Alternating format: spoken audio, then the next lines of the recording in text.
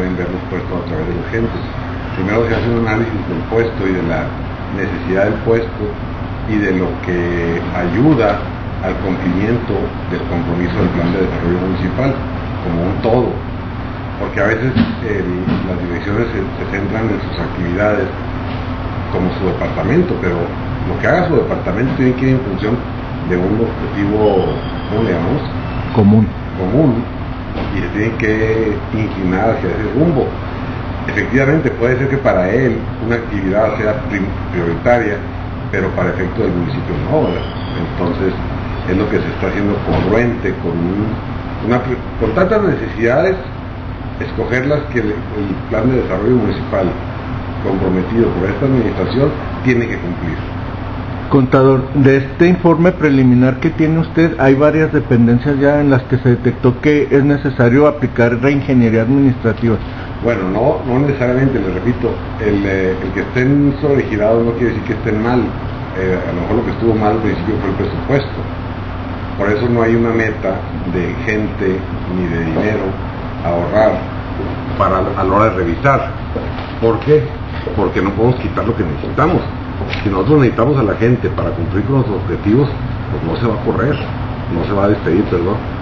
Este, pero eh, si hay alguna que visto de otra óptica que no sea la del propio director, se puede determinar que puede ser eh, cancelada la plaza o eh, hecha con otra de dos una, está haciendo ese tipo de trabajo.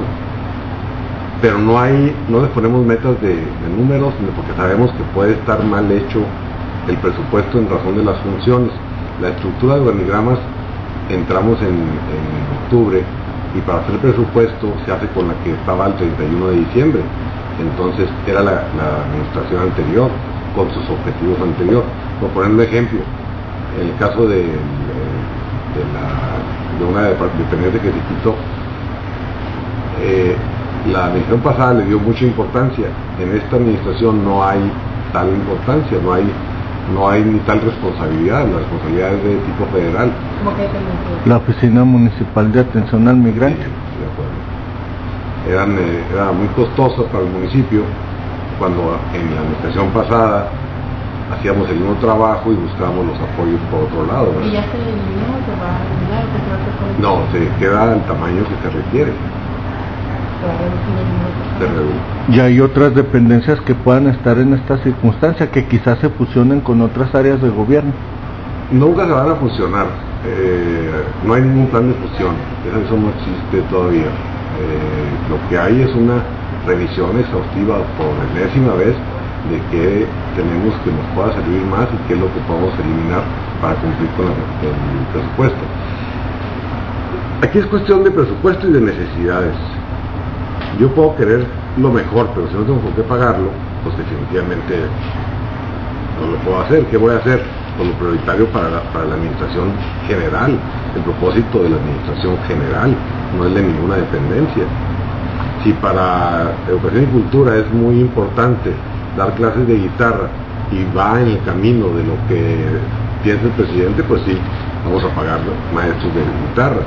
Si para el presidente es más importante que los centros comunitarios crezcan y se les invierta dinero, pues se les va a invertir a los centros comunitarios. Contador, de estas 13 dependencias que en la actualidad muestran un sobregiro en su gasto, ¿cómo se va a atender? ¿Qué estrategia se va a aplicar? Eh, lo que estamos pensando es ahorrar y ahorrar dinero en las otras partidas, que ese informe no se los he presentado, este, para que al final de, por ahí de octubre, noviembre, se hagan los pasos a través del cabildo de las partidas presupuestales. Este nomás es el, el concepto de servicios profesionales.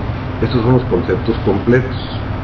En los conceptos completos nomás traen problema, derivado de estos problemas, tres dependencias y a nivel general vamos ahorrando una cantidad importante. Aquí están metidos los tres conceptos de, de gasto. No, no. Las 6.000, las 7.000, las, las 5.000, las 6.000, las 7.000. Entonces, como pueden ver, en los, en los otros conceptos, lo que es el gasto de materiales suministros y lo que es el gasto de servicios generales, todos tienen ahorros. Entonces tenemos un ahorro considerable que al final de cuentas se puede aplicar para subsanar el problema de, la...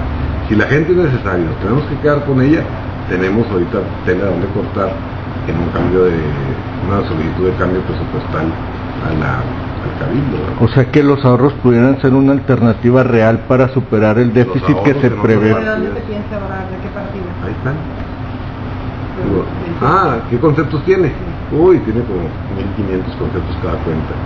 Desde teléfono, este, papelería, gasolina, este, Viáticos.